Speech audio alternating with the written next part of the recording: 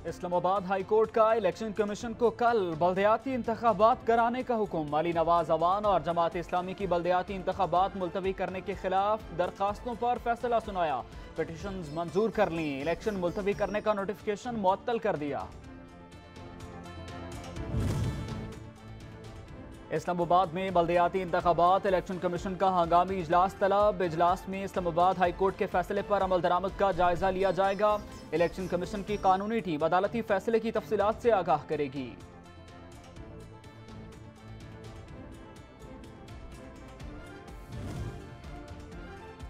Election commission ने U turn लिया, हमने इन्हें कानूनी तौर पर फारिग किया। पीटीआई के रहनमा अली नवाज़ अवान का कहना है कि कल तहरीक इंसाफ और जमहूरियत की फतह होगी।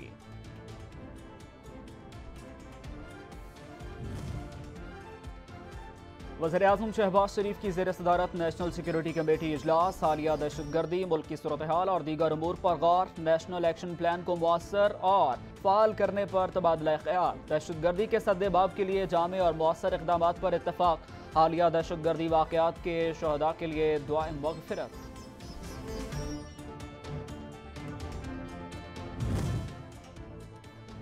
विफाकी दारकूमत में सिक्योरिटी मजीद सख्त। पार्लियामेंट हाउस की भी सिक्योरिटी सख्त कर दी गई। पार्लियामेंट हाउस के बैरूनी गेट पर एफ़ सी तैनात। पार्लियामेंट हाउस में दाखिला बंद। कमेटियों के इजलास मुलतवी कर दिए गए।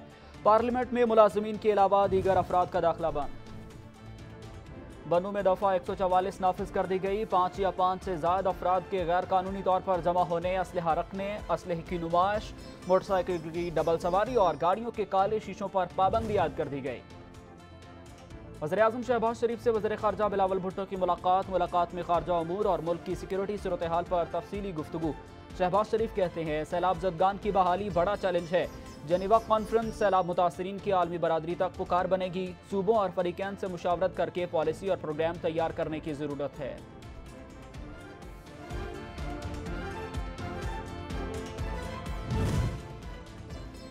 अवामी मुस्लिम लीग के सरबराह शेख रशीद कहते हैं, हमने दहशत गर्दी खत्म करनी है, किसी की जंग का हिस्सा नहीं बनना। सारा मुल्क थ्रेट अलर्ट में आ चुका है। नज़रिया ज़रूरत दफन हो चुका। रिमोट कंट्रोल हुकूमत के सेल खत्म हो गए। टेक्नोक्रेट हुकूमत की आयन में गुंजाइश नहीं।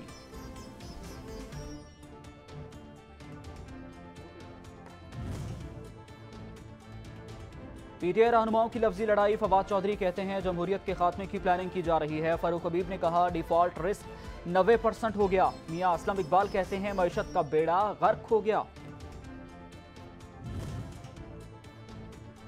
वज़ीर कानून आज़म नजीर तारड़ ने टेक्नोक्रेट सेटअप को गैर कानूनी और गैर आइनी करार दे दिया। कहते हैं आइन में इसकी कोई गुंजाइश नहीं। अगर वक्त से पहले असम्बलियाँ जाती हैं तो नब्बे रोज में इलेक्शन होंगे।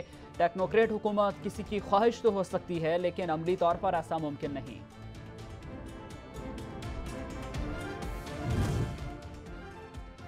मुल्क में अभी भी दो करोड़ सैलाब जदगान को फौरी इमदाद की ज़रूरत, शहरी रहमान की तनकीद, कहा पी टी आई सिंध और बलोचिस्तान के करोड़ों सैलाब मुतासरीन को पैगाम दे रही है कि आप नहीं, इमरान खान की सियासत अहम है।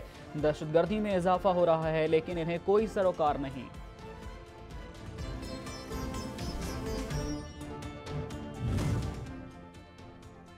गवर्नर पंजाब बलीगुर रहमान से वज़ीर ममलिकत फैसल करीम कुंडी की मुलाकात, मुल्क मजमू सियासी सूरत हाल सैलाब मुतासरीन की बहाली और बाहमी दिलचस्पी की उमूर पर तबादला ख्याल। फैसल कुंडी कहते हैं कि वजर अला पंजाब अरकान सूबाई असम्बली की अक्सरियत का अतमाद खो चुके हैं परवेज अलाही के पास मेंबर्स की तादाद पूरी नहीं, इसलिए वो अतमाद का वोट नहीं ले रहे। तर्जुमान पंजाब हुकूमत मुसारा चीमा कहती हैं, मुल्क दिवालियापन की नहज पर है। खजाने खाली करने वालों का एहतसाब होना चाहिए। सिर्फ़ आठ माह में दस अरब डॉलर से जायद। इसहाकदार और पी डी एम जमातें डकार चुकी हैं।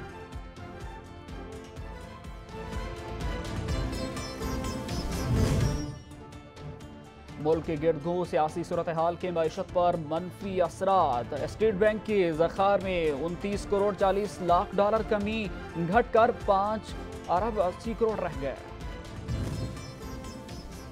आटे मैदे की कीमतों में इजाफा, गरीब फिर जुल्म का शिकार हो गया। रावलपिंडी नान बाई एसोसिएशन ने रोटी नान के नए रेट जारी कर दिए नान की कीमत पच्चीस रुपए, तिल वाला नान तीस रुपए का हो गया।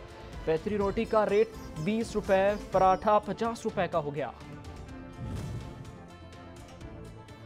ओपन मार्केट में गंदम की कल्लत। नई गंदम आने में वक्त दरकार। कराची में फ़ी किलो आटे की कीमत एक सौ पचास रुपए किलो तक पहुँच गई। मुल्क में मौजूद गंदम अफ़गानिस्तान स्मगल होने के शकूक शुभात। ना रोटी की कीमत बढ़ेगी, ना ही नान की। लाहौर की ज़िले इंतजामिया ने नान भाइयों के मुतालबात मानने से इनकार कर दिया। तहरीक इंसाफ का पीडीएम को टफ टाइम देने के लिए नया पैंतरा महँगाई के खिलाफ मुल्क गिर एहतजाज का फैसला। पीटीआई अरकान असम्बली अपने अपने हलकों में मुजाहरों की क्यादत करेंगे। तीन हफ्तों के बाद इंशाल्लाह इमरान खान इस तहरीक को ज्वाइन करेंगे। ये जनवरी के फ़र्स्ट वीक में बिल्कुल बाकायदे यहाँ से इलेक्ट्रिसिटी जो 1300 मेगावाट है, वो जाना शुरू हो जाएगी। आगे चल के मैं यकीन से कह सकता हूँ कि पाकिस्तान की पूरी एनर्जी क्राइसिस को भी ख़त्म करेगा और हम ये एनर्जी और मुल्कों को भी दे सकते हैं। पीपल्स पार्टी के रुकन कौमी असम्बली मुहेश मलानी ने थरपारकर में मकामी कोयले से 330 मेगावाट बिजली पैदा करने के मंसूबे का अफ्ताह कर दिया। मंसूबे के अफ्ताह से थरकोल से बिजली की पैदावार तकरीबन 3000 मेगावाट होगी। थर के जखायर से दो सदियों तक एक लाख मेगावाट बिजली पैदा की जा सकती है।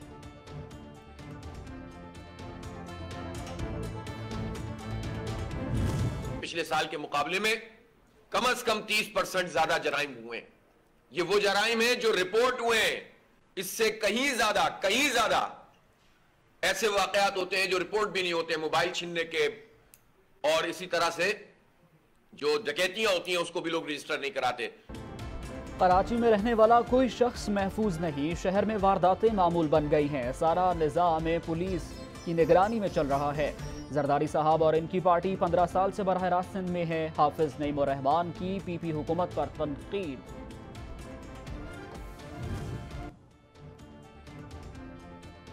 विफाकी दारकूमत इस्लामाबाद समेत मुल्क भर में बारिश के बाद सर्दी की शिद्दत में इजाफा, मुल्क के बेशतर इलाकों में मौसम सर्द और खुश्क रहेगा। बलोचिस्तान, गिलगित बल्तिस्तान, कश्मीर और गिरदोनवाह में मजीद बारिश और बर्फबारी का इम्कान।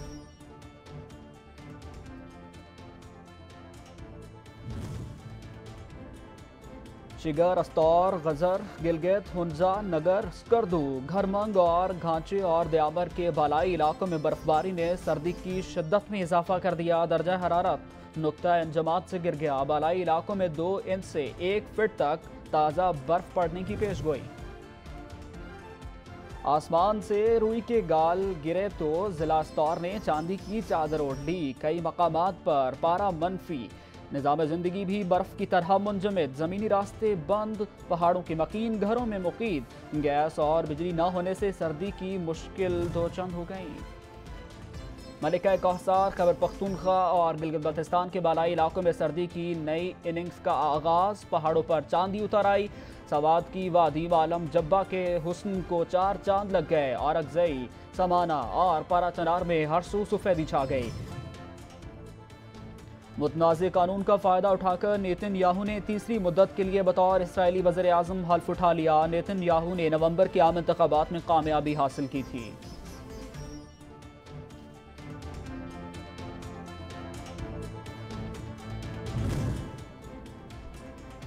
म्यांमार की रहनुमा आंग सांग सूची को सरकारी हेलीकॉप्टर के गलत इस्तेमाल पर मजीद सात साल कैद सुना दी गई। आंग सांग सूची की हुकूमत को गुजशत साल बरतरफ किया गया था।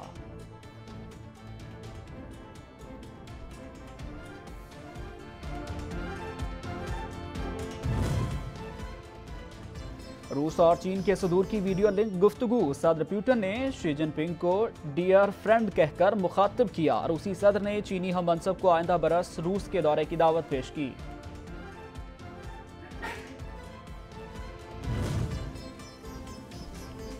सऊदी अरब और स्पेन का मुश्तर तैयार करदा जंगी बहरी जहाज़ जद्दा पहुँच गया। अफ्ताही तकरीब में सऊदी नेवी और स्पेनिश नेवी के आला अफसरान भी शरीक हुए। बहरी जंगी जहाज़ जद्दा के किंग फैसल लेवल बेस पर पहुँचने पर शानदार इस्तकबाल किया गया।